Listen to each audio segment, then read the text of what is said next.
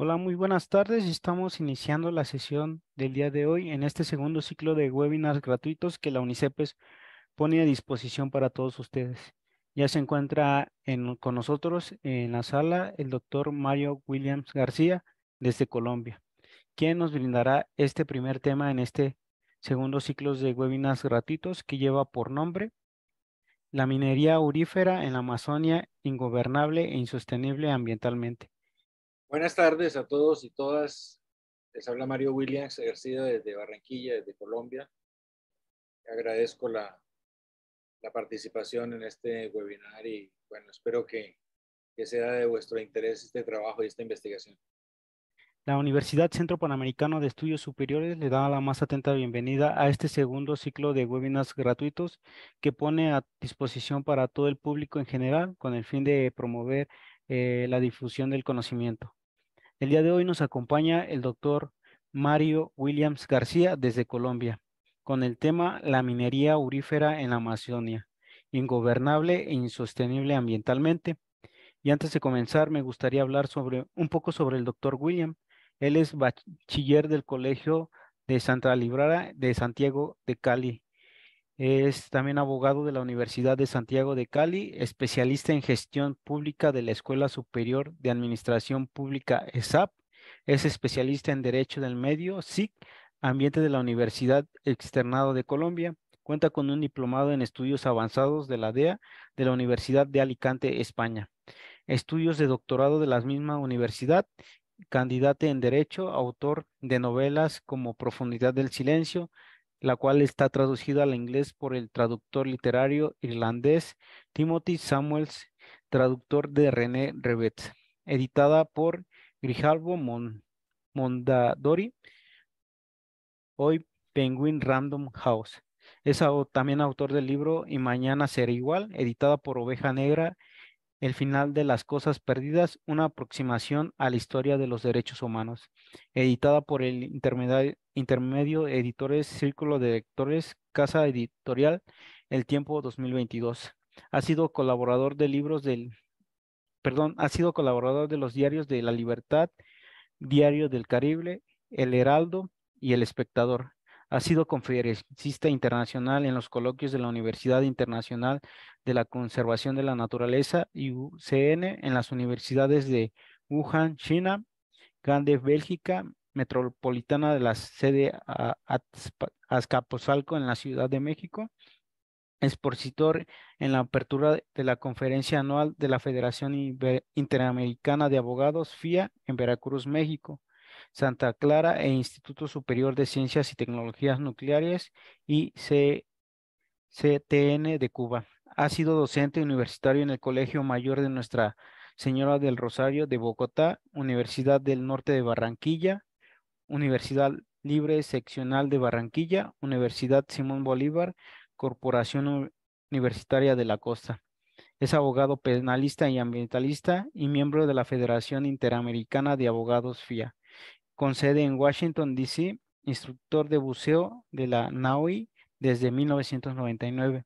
Y es para nosotros un gusto tener el día de hoy al doctor Williams, que nos, bueno, a, través del doctor Luis Antonio, que nos brindó el contacto para que el día de hoy se esté presentando en este evento que realizamos en UNICEPES y para que todos conozcan el excelente trabajo que, que ha venido realizando el doctor Mario Williams García. Es un gusto tenerlo, doctor, y puede iniciar su presentación.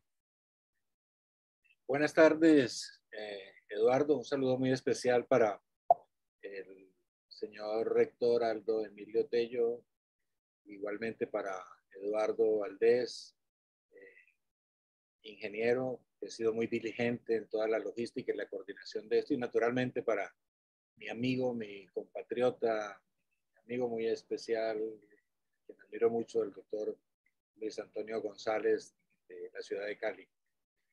Pues bien, el tema que nos aborda, un saludo muy especial a todos los que nos acompañan. El tema que nos aborda el día de hoy, no vayan a pensar que hay un error en la, en la presentación de, de, la, de la diapositiva. Como les decía ahora Eduardo, estuve en la ciudad de Wuhan, en la universidad, dando una conferencia sobre un tema relacionado con este que estamos abordando hoy. Y justamente eh, esta ciudad de Wuhan es una ciudad muy, muy especial y muy querida por, por el presidente Mao Zedong. Tengo un gran recuerdo de, de esa conferencia, de esa experiencia académica que vivimos allí. Y ciertamente esa, eh, fue en esa zona donde el presidente Mao en julio de 1966 nadó río Yangtze. Eh, la respuesta, estábamos, acuérdense, en plena Guerra Fría, la respuesta del presidente Johnson de Estados Unidos es, ah, no, pues si Mao, si Mao nadó en el Yangtze, yo voy a nadar en el Mississippi. Sus asesores le dijeron, presidente, eso no lo puede hacer porque el, el Mississippi es el corredor del cáncer y eso pues podría tener serios problemas para su salud. Más allá y bromas aparte, empecemos con, con el tema que, que nos interesa abordar hoy.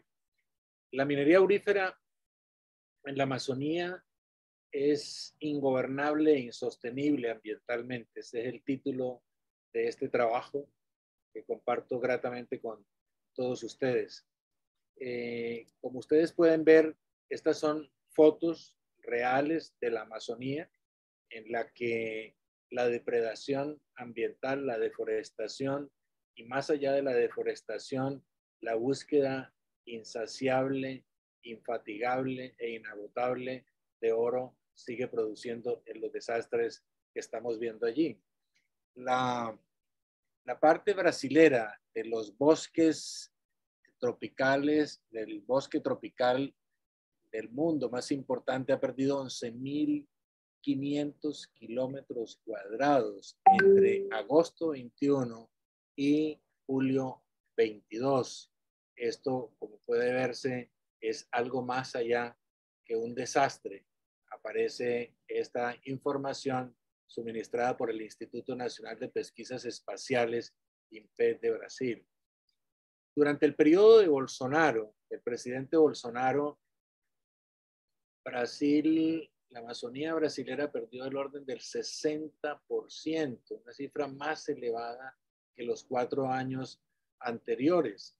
Y el dato del 2021 es el más aterrador en 15 años. Se perdieron 13 mil kilómetros de eh, kilómetros cuadrados de selva de bosque amazónico. Esto, como puede verse, es el resultado de una falta de gobernanza, eh, la destrucción de la masa boscosa amazónica de el gran, es el gran culpable de las emisiones eh, brasileras de gases de efecto invernadero. Esta es una información científica. Y frente a esto, el presidente Lula da Silva, Luis Ignacio Lula da Silva, en la COP27 en Egipto decía o prometía que la aspiración era llegar a la deforestación cero. Eh, con un grado de perversidad, quiero indicar ese mismo ofrecimiento lo hizo Bolsonaro. Por supuesto, no soy tan ingenuo como para no creer que hay una diferencia sustancial del cielo a la tierra entre el señor eh, presidente Lula y este personaje eh, Bolsonaro que aupó de la misma manera que lo hizo su colega ideológico Trump el 6 de enero de, 2021 para que se ilegitimara el triunfo del presidente Biden. Lo mismo hizo en Brasil con la diferencia, y ahora lo entenderemos por qué, en la tridivisión del poder público en Brasil. Más allá de eso, la realidad muestra una siniestra, es un, siniestro, una siniestra realidad que es esta que vemos aquí en la pantalla. Esta foto para mí es son fotografías, ¿ah? no son montajes, no son...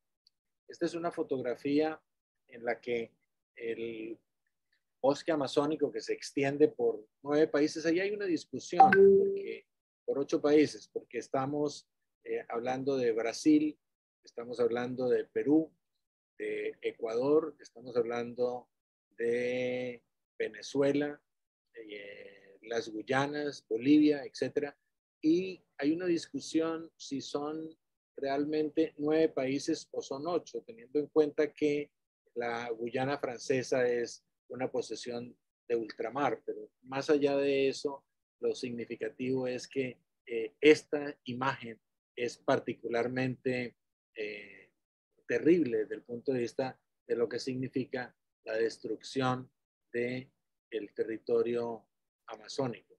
Aquí podemos ver una acción del Instituto Brasilero de Medio Ambiente en el cual se persigue la minería ilegal y allí está una destrucción de una de estas maquinarias que contribuyen a deforestar. miren esta imagen que es particularmente inquietante. Está el humo producto de la explosión, la devastación que se ha hecho aquí y lo que aún queda de territorio amazónico. Y aquí sí, definitivamente es el doctor Ramón Martín Mateo decía, el maestro en la Universidad de Alicante, que no hay nada que se parezca más a un desierto lunar que una mina abandonada a cielo abierto. Esta es otra mina, también el Ibama rastrea mina ilegal de oro, ahí está, pueden ver el helicóptero, igualmente también de mina ilegal de casiterita, que es algo derivado, algo con dióxido de estaño, en fin, y esta es minería de oro de la cual se han logrado establecer del orden de 453 minas ilegales. Yo pensaría que esa estadística puede ser generosa, probablemente eso puede ser más. Y esto es Madre de Dios. Esta es una foto que me resulta particularmente inquietante, Eduardo, por una circunstancia, porque la carretera interoceánica o biooceánica que va del Perú al Atlántico. Se hablaba de que iba a contribuir a mucho desarrollo, pero igual con la creación de ese desarrollo ha derivado también en algo particularmente inquietante y es que al lado y lado de esa vía se aumentó toda esta maquinaria forzosa de, eh, o todas estas empresas ilegales de extracción de oro. Eh, volveremos más adelante sobre este tema, pero lo quiero, lo quiero mencionar de una vez eh, imagínense que esta foto, el texto alternativo que propone la inteligencia artificial, pues hay que tener bastante cuidado con eso. Es muy importante, sí, pero con los ojos abiertos. El texto alternativo para esta foto era playa para disfrutar. El texto que sugería la inteligencia artificial. Ok, esto es, como les digo, Madre de Dios en el Perú, que es uno de los desastres más terribles. Esta foto corresponde a más o menos noviembre del año pasado, cuando aún estaba el señor Bolsonaro en la presidencia de Brasil y eh, aceleraron, como ya había ganado Lula la presidencia, aceleraron el proceso, los incendios se multiplicaron, se incentivaron, se aumentaron exageradamente. O sea que la vulnerabilidad de, Brasil, de la Amazonía brasilera es particularmente inquietante. Y aquí vemos a Marina Silva. Marina Silva es, fue la ministra de Lula de 2003 a 2008, por cinco años, entró en diferencias con él y se retiró del ministerio. Marina Silva es una mujer de esas que lo enorgullecen a uno como latinoamericano. Eh, sufre los 16 años una enfermedad, la tienen que llevar a la capital del estado donde nació, ella nació en el Amazonas, eh, la curan, la cuidan unas monjas, la protegen, la ayudan, le contribuyen a, a, desanalfabetizarla, aprende a leer, luego cursa sus estudios. Y para cursar sus estudios universitarios se empleó como doméstica, como empleada del servicio. En eso coincide con nuestra vicepresidente Francia Márquez, perdón, con nuestra presidencia Francia Márquez, igual con una ministra del Trabajo que creo que tuvo eh, el presidente Evo Morales en Bolivia. Así que eso, por supuesto que es motivo de orgullo de ver cómo la educación, y eso es uno de los aspectos significativos e importantes de la educación, cómo la educación es, por supuesto y desde luego, un elemento de movilidad social significativo. Tiene el gran reto, y ya lo empezó desde el primer momento en que llegó al ministerio nuevamente, ahora este año, empezó a recuperar el fondo de protección amazónico que existe, eh, financiado por entidades europeas y gobiernos europeos y esperamos y deseamos que lo mejor para la supervivencia de la Amazonía le pueda ocurrir a, Marina, a Marina, Marina Silva. Esta es, como puede verse fácilmente, el mapa de Sudamérica en el cual está el área de la Amazonía. La Amazonía tiene, efectivamente, la Amazonía tiene 7.989.004 kilómetros cuadrados. Ese es el conjunto de kilómetros que tiene la Amazonía con sus nueve países que eh, la integran o que tienen soberanía sobre territorio amazónico. La extensión superficiaria de Sudamérica es de 17 millones 855.914 kilómetros cuadrados y de esos, de esos 17, 7, casi los 8 millones son territorio de la Amazonía. Eh, la población pues, de Sudamérica es aproximadamente unos 444 millones de habitantes. Aquí están las fuentes correspondientes de esa información. Y esto, un comentario que me resultó particularmente eh, interesante, estando en unas actividades académicas en Ecuador, eh, decía un oficial del ejército que el saludo de los oficiales o de los soldados, el saludo diario que realizan a la patria de los ecuatorianos, de los soldados ecuatorianos, era las Amazonas son del Ecuador por herencia, las Amazonas serán del Ecuador por las armas. Esto, como puede verse, como grito de guerra, es particularmente inquietante si tenemos en cuenta que el Ecuador, para utilizar las palabras de Gabriela Mistral, nuestra querida, admirada y encantadora poetisa, premio Nobel, eh, decía que refiriéndose a El Salvador, que era el pulgarcito de América Latina, parodiándola a ella, podríamos decir que Ecuador, en términos de la Suramérica hispana, sería el pulgarcito, el pulgarcito de esta región. Sin embargo, miren lo que se plantea por parte de sus autoridades militares. Insisto, no sé si eso se mantenga, pero fue una información que me dio un oficial del ejército.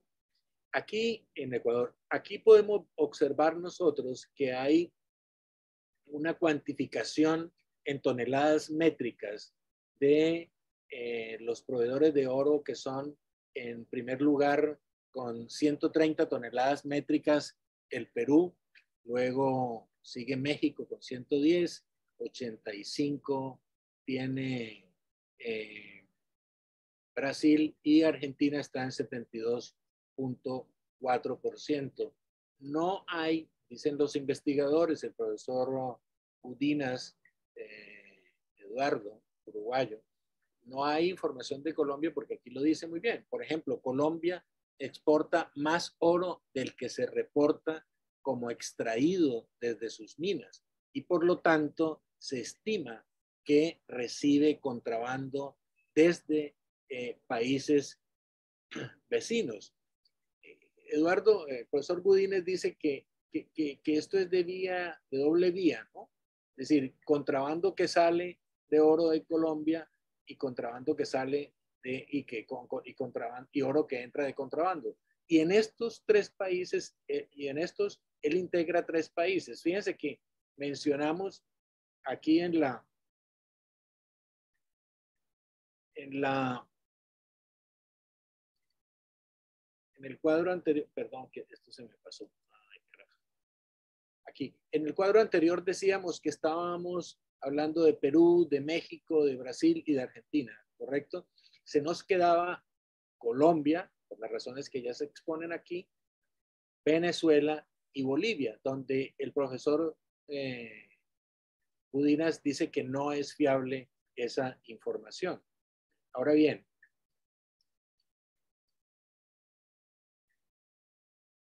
en términos hasta, aquí damos un, pantallazo, como dicen, me gusta decirlo así, lo dicen los argentinos, un pantallazo de esta realidad, pero quiero hacer con base en el pensamiento, el principio del concepto, del contexto, perdón, quiero hacer referencia a lo siguiente. ¿Por qué? ¿Por qué el contexto? Porque el contexto como conocimiento es imprescindible, permite la comprensión del mensaje. Es eh, un, enunciado sin contexto, no, no, tiene sentido. Es, es necesario el contexto para comprender cabalmente en esencia de qué se trata todo este tema del medio ambiente. Y aquí quiero referirme, esto lo voy a pasar rápidamente, es el tema de la teoría de la tridivisión del poder público que hace referencia básicamente a qué? A que el poder requiere ser controlado. El poder no puede ser, no puede ser o no puede estar mejor en cabezas de una sola persona, de tal suerte que desde Aristóteles se plantea que debe haber un poder judicial, poder legislativo y un poder ejecutivo.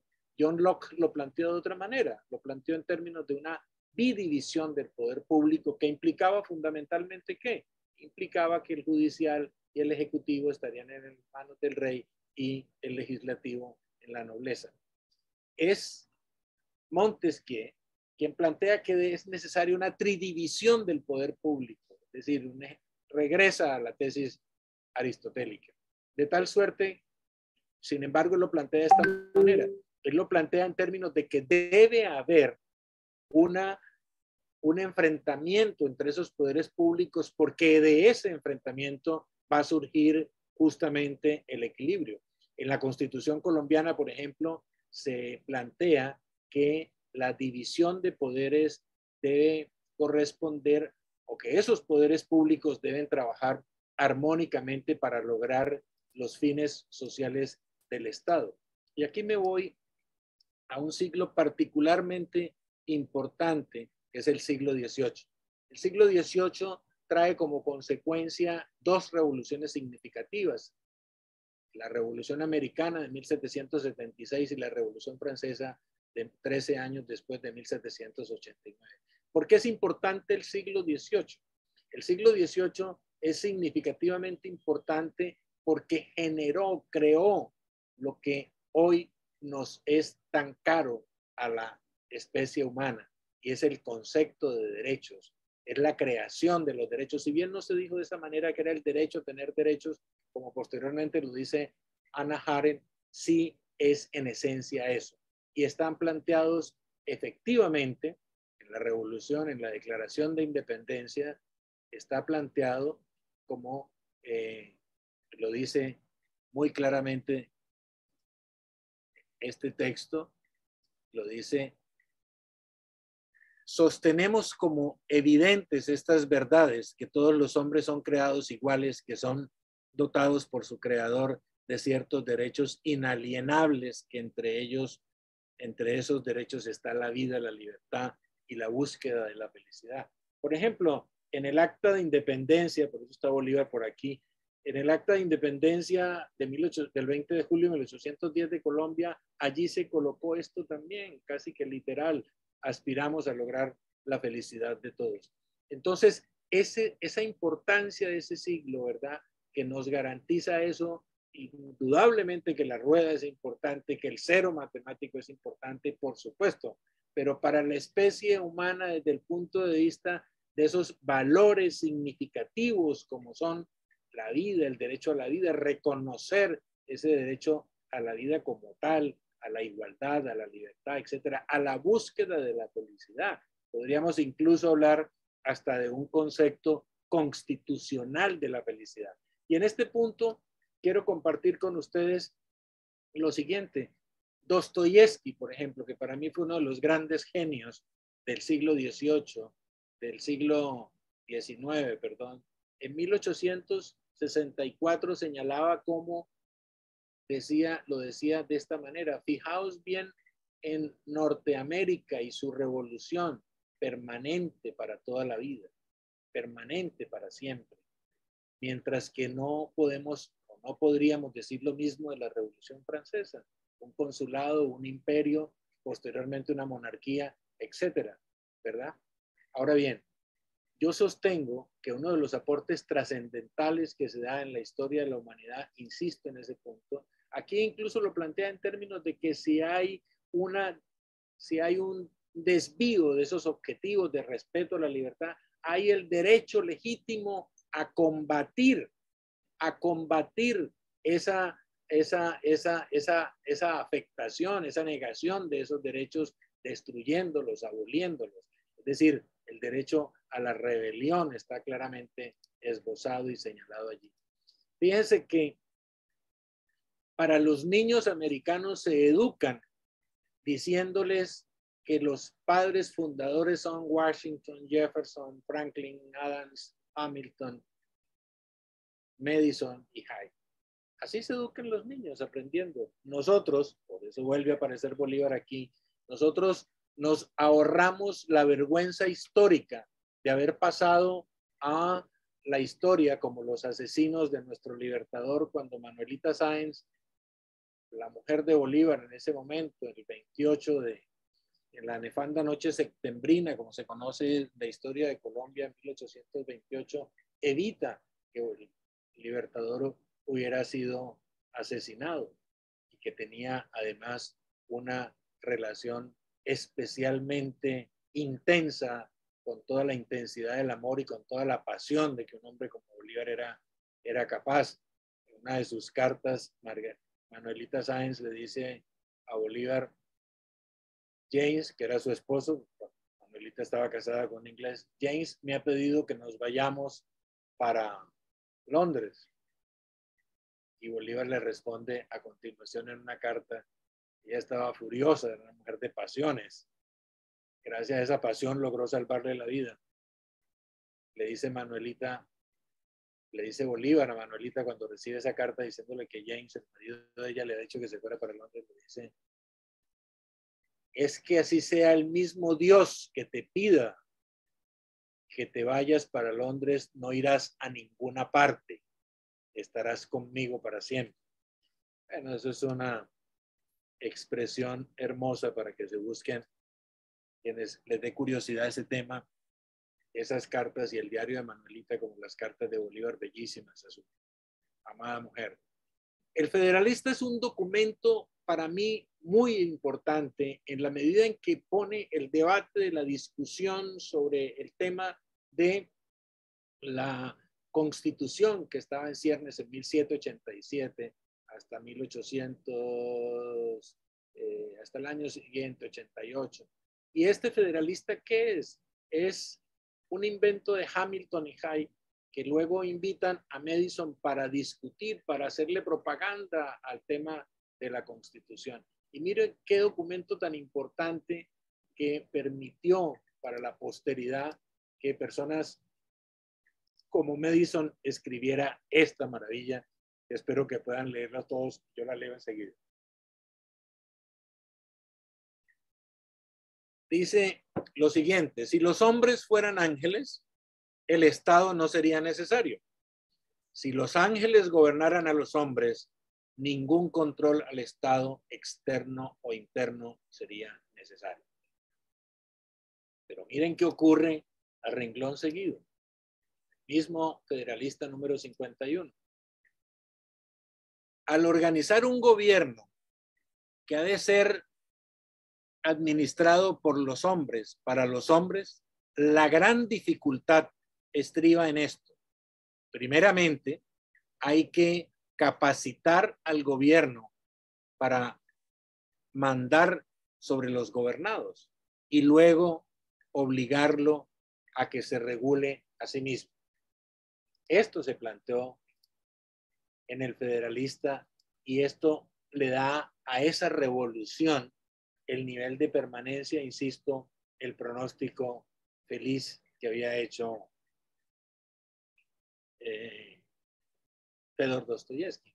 En contrario a esto, nos encontramos con que la Revolución Francesa, de esa volubilidad que pasa de un estado a otro, etcétera, la Revolución Francesa conserva un documento trascendental que es la Declaración de los Derechos del Hombre y del Ciudadano, que en su artículo 16 dice la expresión admirable que tenemos escrita aquí. toda sociedad en la cual no esté establecida la garantía de los derechos ni determinada la separación de los poderes carece de constitución. Ese es el artículo 16 de la Declaración Universal de los Derechos de la Declaración Universal de los Derechos del Hombre y del Ciudadano. Perdón, que pocos años después nuestro precursor de la independencia, Antonio Nariño, tradujo del francés al español, al castellano, y eso lo llevó a que terminara preso en las bóvedas de Cartagena que hoy visitan tantos turistas. Incluso, Eduardo, te comento que he conocido muchos paisanos tuyos en la ciudad de Cartagena en actividades de buceo. Pues bien, esta, esta, esta, esta, esta reflexión, o es Lafayette, amigo de Washington, que pelea en la guerra de independencia y que presenta ante la Asamblea Nacional Francesa ese texto de la Declaración Universal de los Derechos del Hombre y el Ciudadano. Solamente lo menciono tangencialmente. Hay una mujer extraordinaria y esto lo quiero compartir con las mujeres. Espero que haya algunas presentes en este webinar. Y es que eh, Olimpia Gugés escribió unos derechos de la mujer y de la ciudadana, con el mismo número de artículos, con el preámbulo, con el epílogo, etc.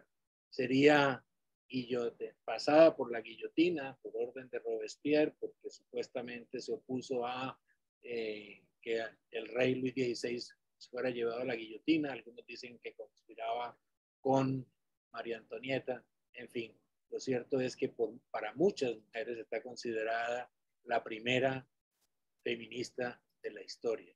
Pues bien, esto es la historia. Fíjense cómo es el contraste entre los padres fundadores de la Revolución Americana y los que podríamos llamar padres fundadores de la Revolución Francesa. Danton muere en la guillotina en abril de 1794.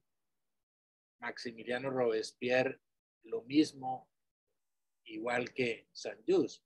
Es decir, esa fue una revolución que como Crómonos devoró a sus propios hijos. Entonces veamos cómo el siglo XVIII nos regala nada menos que ese instrumento extraordinario de esas cartas que nos conceden los derechos, el derecho a tener derechos. Y en el siglo XIX se desarrolla todo lo que son los derechos eh, socioeconómicos, ¿verdad? El derecho al trabajo, el derecho a la educación. En eso hay un aporte extraordinario de la Revolución Mexicana, 1917.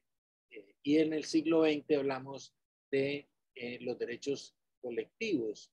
Digamos que estos derechos pueden llamarse, estos derechos pueden llamarse derechos de, estos primeros derechos pueden llamarse derechos de participación, ¿verdad? a través de las distintas generaciones de derechos humanos que hoy en día han consolidado tres, algunos hablan ya de una cuarta generación de derechos humanos con todo esto de la eh, acceso a Internet, la inteligencia artificial, etcétera, pero básicamente yo soy poco amigo de esa otra opción porque eso estaría aquí, dentro de esa tercera generación de derechos que son los derechos colectivos y esta cuarta generación que está allí. Y insisto es Internet, acceso a Internet, la inteligencia artificial y todas estas cosas que tienen que ver con los desarrollos tecnológicos. Pero digamos en resumen que esa primera generación de derechos humanos que estaría entre 1776 y 1789, fechas de las revoluciones que he señalado, son los famosos derechos de defensa.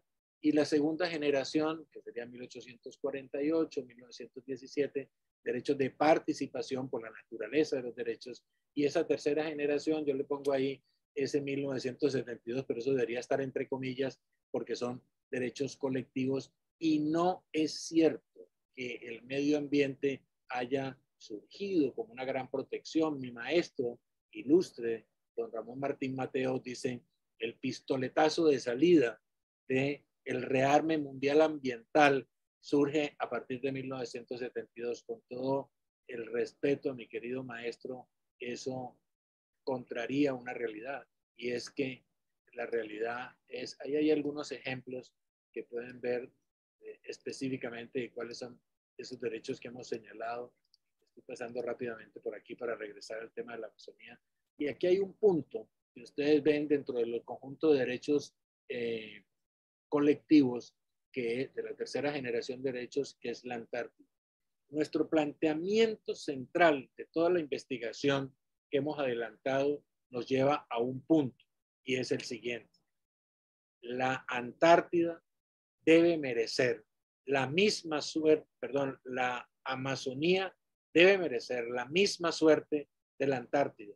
Es decir, no reclamación limítrofe dedicada exclusivamente a la investigación, a la protección y por supuesto y naturalmente a la protección de sus eh, habitantes originarios. Si es el único pulmón que tiene el planeta, es casi tanto como los japoneses hacerse un harakiri, permitir o asistir de manera eh, irresponsable a la desaparición de la Antártida que nos mata y termina la piedra esta en la que estamos. El planeta va a seguir girando con o sin eh, humanos, pero nosotros, la vida como tal, si perdemos pulmones tan significativos e importantes como la Amazonía, por supuesto que se va a perder.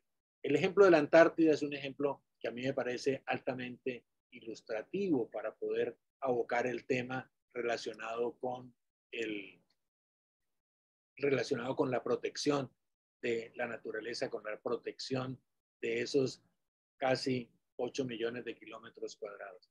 Aquí regresamos a este punto para cerrar este, este, esta especie de paréntesis que he incluido aquí en este análisis y es que hace referencia a un texto que recomiendo incondicionalmente, El origen del totalitarismo de Anna Arendt, en el cual nos dice lo siguiente, nadie nos dice lo siguiente, nos dimos cuenta de la existencia de un derecho a tener derechos solo cuando aparecieron millones de individuos que lo habían perdido.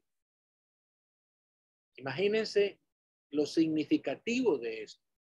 Y esos derechos, ese derecho a tener derechos surgió y nació de cuándo? Nació en esas revoluciones, en ese corpus eh, revolucionario de la primera revolución de, liberación nacional del mundo, que fue la revolución americana de 1776 y en la revolución francesa.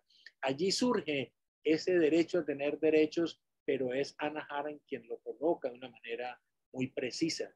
Nos dimos cuenta de la existencia de un derecho a tener derechos solo cuando aparecieron millones de individuos que lo habían perdido.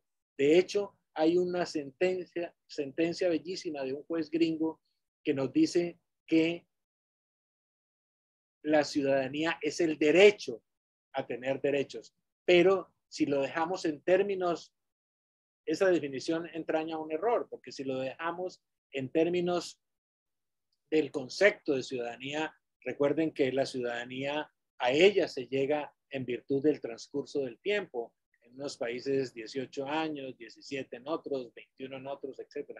Es simplemente con el, la persona, el ser humano, tiene derecho a tener derechos y lo dice de manera eh, muy lúcida Ana Arendt. Aquí están los verdaderos defensores, los verdaderos creadores del derecho ambiental. Son los indígenas. En la Amazonía, por ejemplo, se estima que existe uno en, un orden de, un, de 400 pueblos indígenas, pero según lo dice Ecología Verde, pero este es un tema particularmente complejo, el tema de la, del censo de las poblaciones indígenas. Para poner un ejemplo, en mi país, en Colombia, por ejemplo, nosotros tenemos tres cifras distintas. Yo hice una investigación para American University de Washington y eh, sobre la violencia contra los pueblos indígenas como una constante, así se llama esa investigación, y nunca pude encontrar la información exacta del número de pueblos indígenas. La misma Organización Nacional Indígena de Colombia me decía que había 102, en otras, en el Ministerio, perdón, en el Ministerio del Interior, el Ministerio de Gobierno de Colombia, allí deben registrarse, ahí aparecían registrados menos número que ese. En fin, ese número no estaba como muy claro, pero lo que sí quiero dar como significado inequívoco es que los verdaderos ambientalistas, los primeros ambientalistas, aquí lo decimos de esta manera, los indígenas verdaderos ambientalistas. Los indígenas representan los verdaderos protectores de la naturaleza. Esta es sagrada y es un territorio y sus territorios ancestrales deben ser protegidos. La Pachamama es sagrada.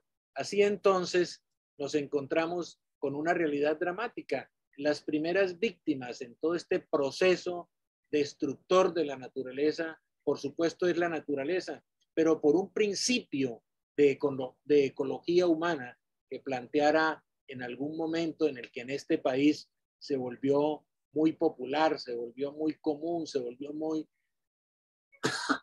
perdón, se, se volvió muy normal hablar de desechables para referirnos a las personas, a los habitantes de calle, como hoy se les llama pomposamente, el padre Gustavo de Rub, que fue el presidente de la Comisión de la Verdad Nuestra, y que ha resultado tan incómodo, un sacerdote jesuita, que ha resultado tan incómodo para tantas personas de este país que se niegan a ver la realidad como es, a ver el tema de los falsos positivos, seis mil y pico de personas fueron convocadas por el ejército eh, y sacadas de sus poblaciones, de los barrios humildes, de las ciudades nuestras, ofreciéndoles trabajo, los llevaban a otra parte, los vestían de militares y los mataban y los presentaban como bajas en combate y con eso recibían además emolumentos económicos.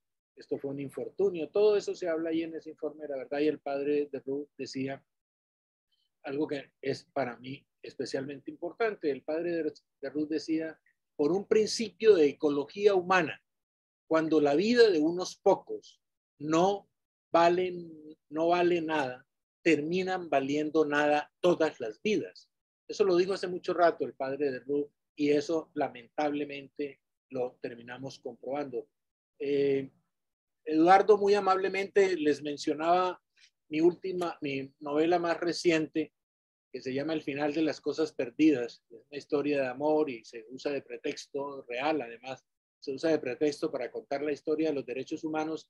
Y en esa novela, mi protagonista, que se llama Felicidad de la Asunción, dice, si los desaparecí, si las torturas de 1979, 1979 para mí marca un punto de inflexión en este país, porque en ese, en ese, ese año el 31 de diciembre del año 1978, una organización guerrillera se había llevado 7.000 armas de la unidad militar más custodiada de Colombia. Por tanto, 1979 significó las torturas más infames, aberrantes y despiadadas que ustedes puedan imaginarse para recuperar esas armas. Hubo un caso de Jorge Marco Zambrano, un guerrillero al que le encuentran estiércol al realizarle eh, la autopsia su compañera, que era una niña eh, de 16, 17 años, los soldados le hacen un círculo, la bañan en semen. Uno de estos salvajes, ella está desnuda, ellos están encapuchados, uno de estos salvajes trata de meterle el pene en la boca, ella lo muerde y la respuesta es un proyectil con el puño cerrado a su boca y le vuela los cuatro incisivos. Las amalgamas eran retiradas de los dientes y allí les metían taladros. A ese nivel de salvajismo llegamos o llegaron, se llegó por parte del ejército en 1979. Me tocó coordinar en Cali la visita de Amnistía Internacional con el Mundo García, que era el secretario de América Latina para Amnistía y el magistrado español Antonio Carretero Pérez. Entonces, todo esto para significar cómo efectivamente las grandes, los grandes desafíos en la destrucción de la Amazonía es el daño que se le ha causado a los pueblos, a los pueblos, a los pueblos indígenas. Y de toda esta herencia de lo que hemos venido hablando, ¿verdad? Y con base en esta reflexión sobre los derechos de tercera generación, los derechos colectivos, podemos llegar a una única conclusión. Todas las personas tenemos derecho a gozar de un ambiente sano. Obsérvese que he dicho todas las personas. Entonces, es de especial importancia que tengamos presente que el derecho a un ambiente sano es un derecho humano de tercera generación Y esto nos lleva a que la Amazonía debe tener, evidentemente, la Amazonía debe tener una protección especial, debe estar protegida. ¿Por qué? Porque si, la, si no protegemos la Amazonía, vamos a llegar al punto en el que el planeta no va a tener la posibilidad de tener unas mejores condiciones para la calidad de vida de sus habitantes. Aquí están, esto lo he repetido deliberadamente, y aquí lo encontramos la distribución porcentual del territorio amazónico. El Brasil tiene un 64.4% de, de superficie de la Amazonía, le sigue en una escala bastante menor, tanto lo que significa es que buena parte del territorio brasilero es amazónico, el Perú con un 9.7%, Bolivia con el 7%, Surinam con el 7%, Colombia con un 6.6%, Venezuela un 5.9%, la Guyana con 2.1%, Ecuador con un 0.6% y la Guyana francesa un 0.8%, como lo pueden ver, lo pueden ver allí. Esto entonces, ¿qué significa? Esto significa que todos los, los nueve países, a pesar de que existen protocolos, por ahí el último que se firmó más allá del Tratado Amazónico fue el Pacto de Leticia, que se firmó en Leticia, que es la capital amazónica de Colombia.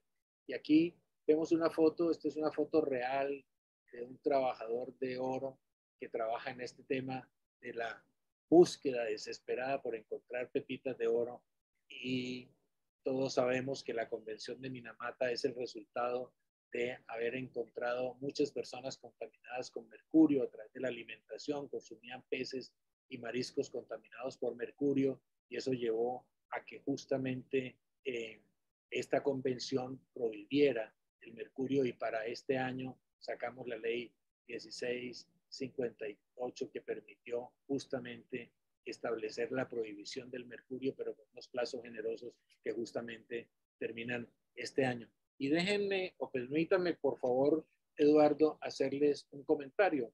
Eh, el emperador Chinchi Wandi, el famoso de los guerreros de terracota, y cuyo nombre le da el nombre a la China, el emperador Chinchi Wandi desesperado por permanecer mucho tiempo en este planeta, a sus 47 años le pide a sus médicos que le encuentren la fórmula o la fuente de la eterna juventud.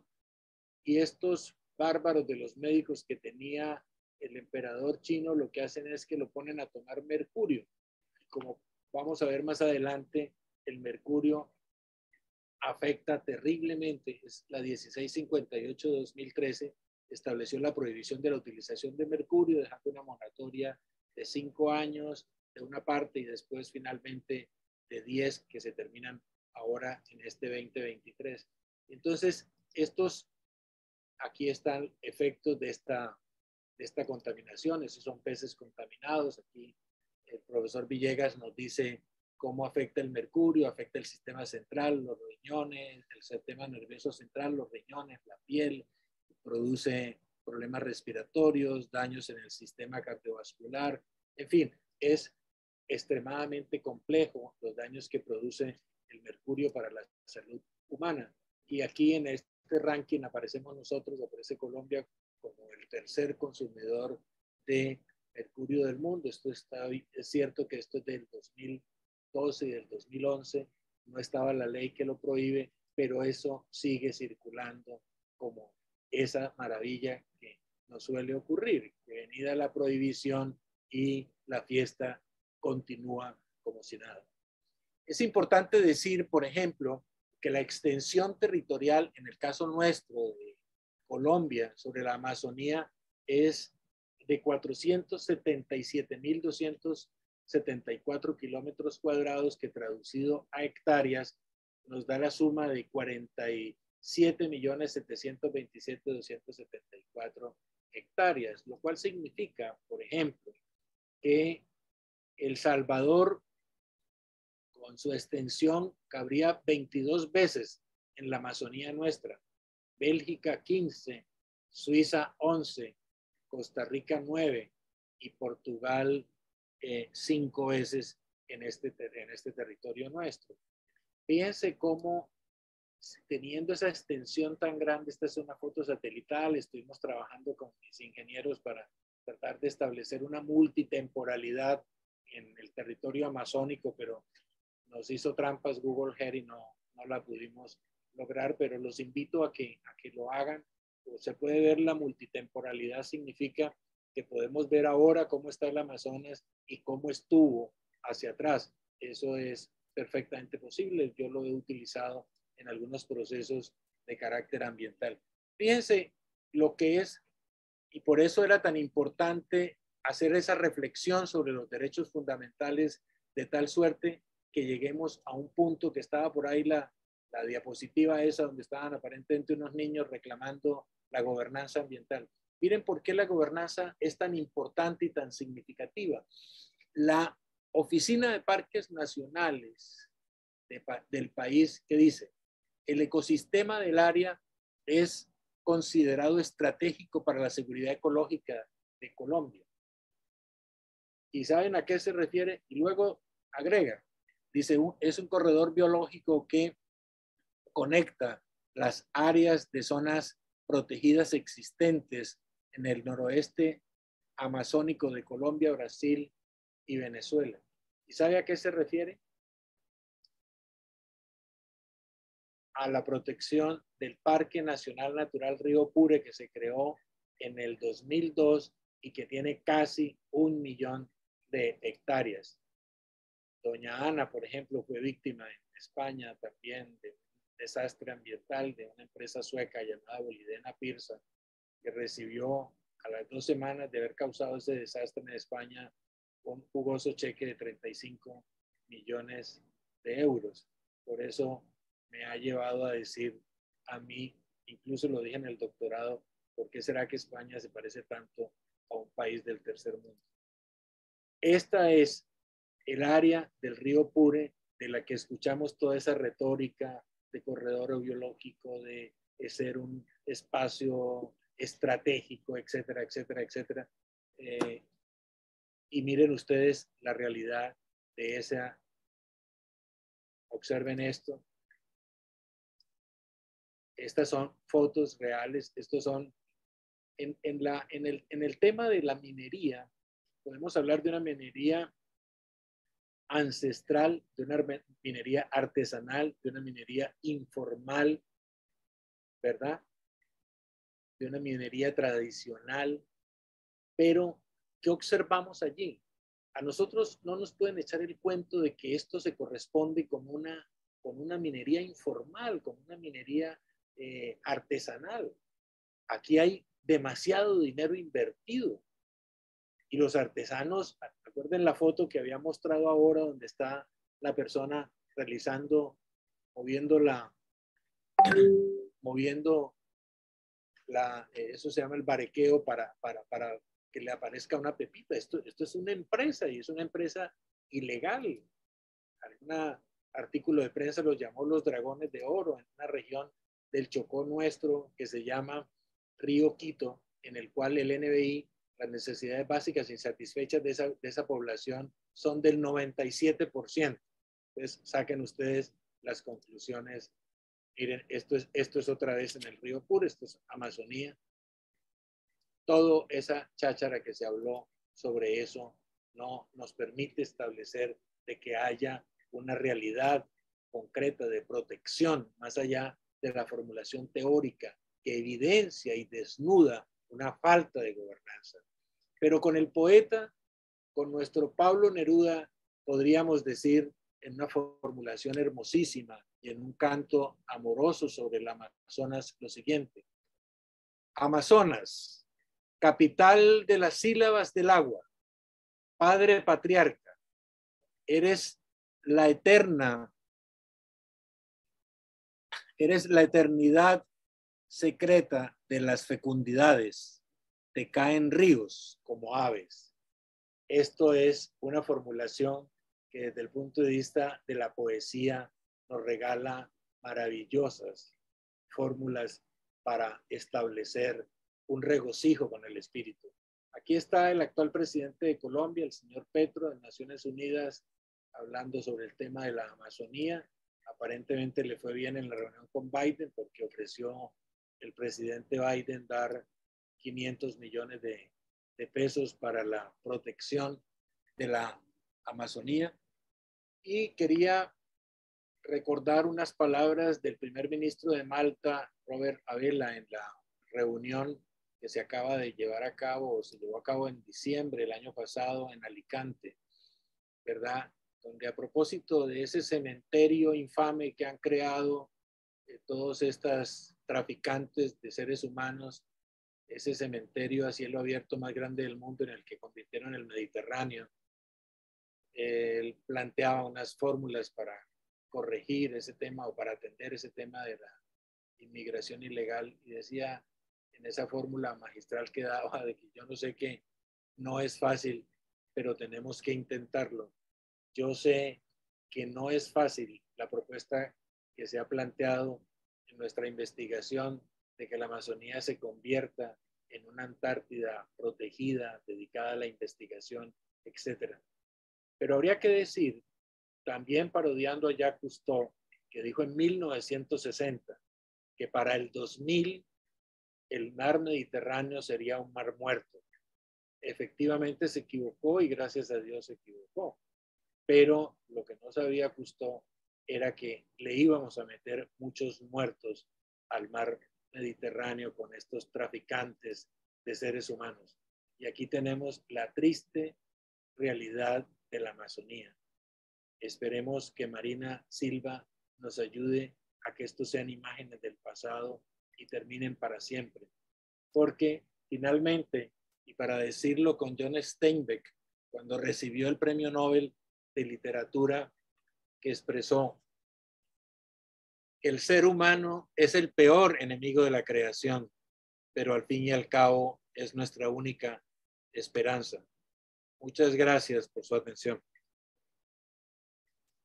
Muchas gracias por su presentación, doctor Mario Williams García. Y en estos momentos les comentamos a los asistentes que se abre el tiempo de preguntas. Eh, Patricio Clavijo comenta, felicitaciones, doctor. La sobreexplotación minera y destrucción de la selva es un problema que vivimos también en países como Ecuador. Él pregunta qué podemos hacer como países en vía de desarrollo. Patricio, gracias por tu, por tu pregunta.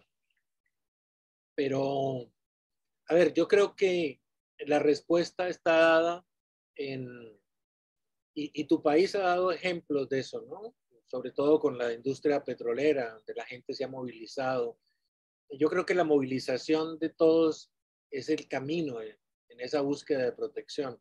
A veces de protección de la naturaleza y de protección de los recursos. A veces nos, nos creamos una especie, como decimos los abogados, una especie de capiti diminucio, ¿no? De capacidad disminuida en el sentido de creer que somos pobres, que no. Nosotros somos, somos naciones muy ricas, somos naciones que tenemos muchos recursos. Lo que pasa es que hemos tenido unos dirigentes que se le han arrodillado.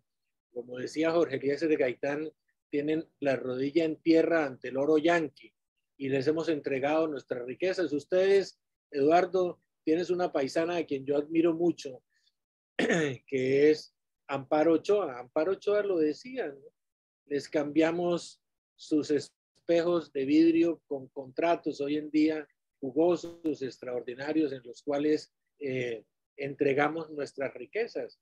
Yo creo que la, la actitud eh, de veeduría firme y radical, mire, omití mencionar que, por ejemplo, la Defensoría del Pueblo en el Perú ha jugado un papel muy importante en ese gravísimo problema de Madre de Dios y en general de la minería de oro en, en, en, en el Perú. Pero yo creo que la vía, Patricio, puede estar por allí. En, primero, quitarnos ese San Benito de que somos pobres, de que no sé qué. No, esa negociación con los, con los, con los extranjeros, esa, esa, esa negociación en la cual salen siempre ganando porque pues quien firma el contrato está firmando el contrato para la famosa puerta giratoria, ¿no? para después convertirse en gerente de esa empresa cuando sale de la burocracia estatal. Entonces, la vigilancia permanente de los procesos contractuales, la denuncia, la prensa juega un papel muy importante en estos procesos. Entonces, sí es significativo el que podamos establecer una vigilancia constante, una veeduría constante, una defensoría del pueblo, pero que realmente corresponda a esa, a esas expresiones, defensoría del pueblo. Eso es necesario que haya en la de Bevington, por ejemplo, se olvidó mencionarlo, el Bevington, Anthony Bevington es muy claro en señalar cómo y en destacar cómo la, eh, la Defensoría del Pueblo peruana es, es, es ejemplar aquí también en algunas manifestaciones, etcétera. Entonces, tenemos instrumentos a través de los cuales la misma Procuraduría y los mismos instrumentos de defensa, como las acciones eh, de grupo que tenemos en el caso de Colombia, los derechos de petición, etcétera. Es decir, hay una serie de mecanismos. Eh, la mejor respuesta frente a esa pregunta, Patricio, sería eh, actuar, actuar en todos los caminos que la democracia permite. Mire lo que les leía eh, de la declaración de independencia. Estamos llamados, por supuesto que sí, a que lo que no funciona lo podemos cambiar. Esto no es un gobierno de ángeles para ángeles ni de ángeles para hombres. Es un gobierno de hombres para hombres y tienen que capacitarse y tienen que, eh, eh, y, los podemos vigilar, etcétera. De eso se trata. Los invito a que se relean ese tema del federalista porque la verdad es que es un documento eh, de un valor histórico y más que todo para estos, para estos momentos muy importantes. Muchas gracias, doctor Mario. Jordan Jesús está levantando la mano. Le vamos a habilitar en estos momentos el micrófono para que pueda realizar su pregunta. Bueno, ante todo, muy buenas noches. Doctor Mario, gracias por eh, compartirnos eh, sus experiencias y también de instruirnos. Eh, quien les habla es ingeniero ambiental de profesión. He trabajado algunos años en la región Madre de Dios y quería comentarles un poco la experiencia también que he tenido con respecto a la minería en placeres auríferos o aluvial. básicamente en la región Madre de Dios, por ejemplo, hay tres estratos marcados, ¿no? Los mineros que están en proceso de formalización, los mineros formalizados e ilegales, ¿no? Y el Ministerio de Energía y Minas maneja un, registro que básicamente es como un padrón en donde, en donde tiene identificado a todos los mineros que están en proceso de formalización.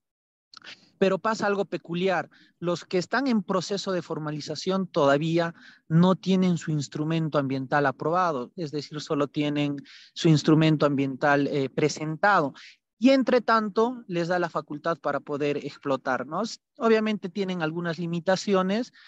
Eh, por ejemplo, hay un decreto legislativo, la 1100, en su artículo 5, precisa que está prohibido trabajar en cuerpo. Allá, eh, bueno, comentaba que eh, hay tres estratos bien marcados, ¿no? Tenemos los mineros que están en proceso de formalización, los mineros que ya están formalizados y bueno, los ilegales que también existen, ¿no? Y también comentaba que hay un decreto legislativo, la 1100, en su artículo 5, indica que está prohibido eh, trabajar en cuerpos de agua natural, cochas, aguajales, etcétera, etcétera. Eh, sin embargo, eh, obviamente en campo, en la realidad, no se, no se ve ello, ¿no? Hay bastantes mineros que trabajan en, en cuerpos de agua, en aguajales, etcétera, etcétera. E indicaba también que el Ministerio de Energía y Minas maneja un, padrón, por así decirlo, un registro integral en donde tiene identificado a todos los mineros que están en proceso de formalización. Entonces, la consulta iba a, si nos podría comentar cómo, cómo en vuestra realidad eh, manejan ese tema, ¿no? A ver, a ver, Jordan, eh, eh, aquí, aquí en este, en este, en nuestro país tenemos una característica y es que está claramente diferenciado eh, el tema de eh, los informales, los, no solo están los informales, están los ilegales, están los artesanales, los tradicionales, los ancestrales, hay como cinco categorías, eh, pero además hay un planteamiento muy interesante que hace Gudanis sobre el tema de qué se entiende por extractivismo y qué no es extractivismo. Pero el punto central aquí está en que hay debe tenerse un título minero para que se pueda ejercer esa actividad. Pero en el país ha crecido tanto la ilegalidad y la actividad minera ilegal que hoy en día, por ejemplo, no sé si han seguido las noticias, pero hasta hace poco estuvimos siendo víctimas de un paro minero. Es decir, en la medida en que se, el Estado iba a proceder a la destrucción de esa maquinaria, así como esa imagen que vimos de la cantidad de humo que salía de, en esa fotografía de, un, de la destrucción de un, de un, de, un instrumento de estos, de una retroexcavadora, vimos cómo había una columna de humo, ¿verdad? Porque se estaba destruyendo. Aquí los mineros nuestros tenemos esa misma disposición, pero los mineros nuestros cada vez que se va a proceder de esa manera empiezan con, la, ah, con, con, la con las tomas. Aquí hay una región que se llama el Bajo Cauca antioqueño y esto duró casi eh, casi 15 días, 20 días completamente paralizado, eh, una señora, eh, además violando el DIH, el Derecho Internacional Humanitario, una señora parturienta que iba en, un, en una ambulancia fue bajada de ese, de ese vehículo, o sea, cuando, cuando hasta en las guerras se respetan los, los, los vehículos de, de asistencia humanitaria, de asistencia médica, las, la, Cruz Roja, la Media Luna Roja, etcétera.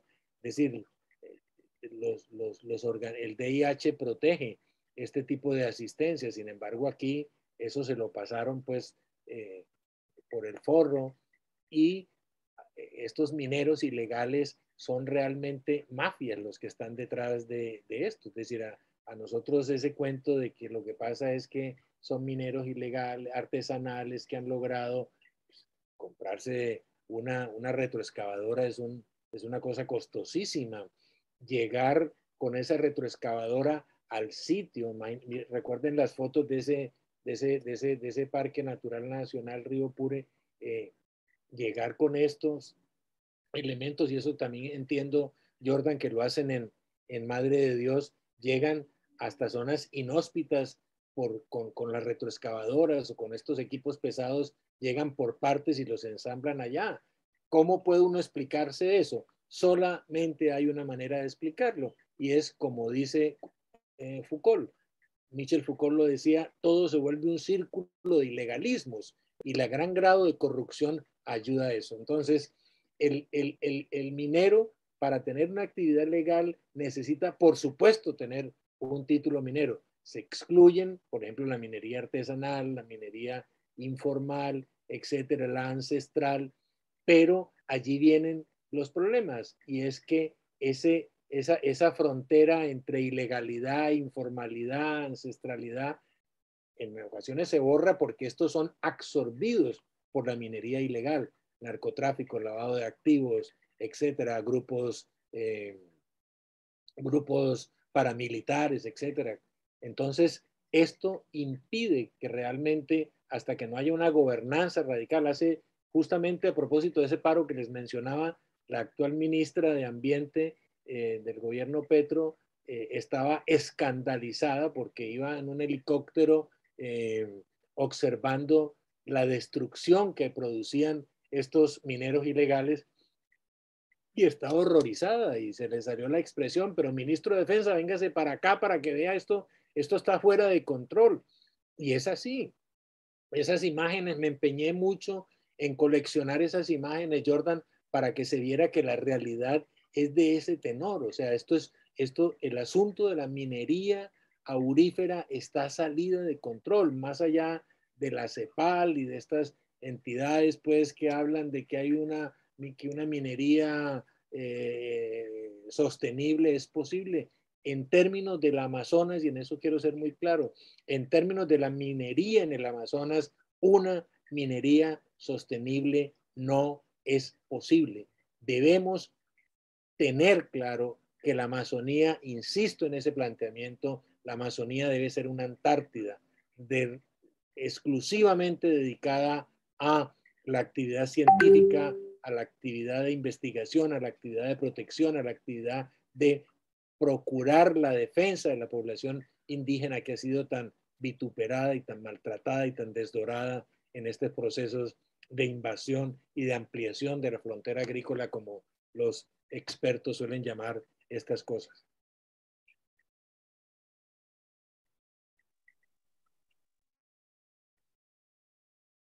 Muchas gracias por su respuesta, doctor Mario. Así me parece que no hay más preguntas, doctor Mario.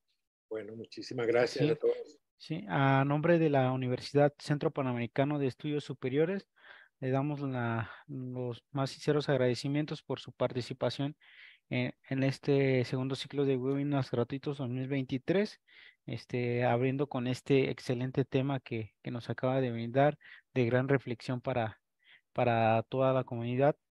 Eh, también agradecer a todos los asistentes por asistir al día de hoy e invitarlos a los demás temas que se estarán impartiendo a lo largo de esta semana.